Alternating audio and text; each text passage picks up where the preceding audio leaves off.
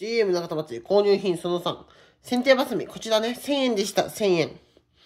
お買い得だと思います。1000円ね。そう。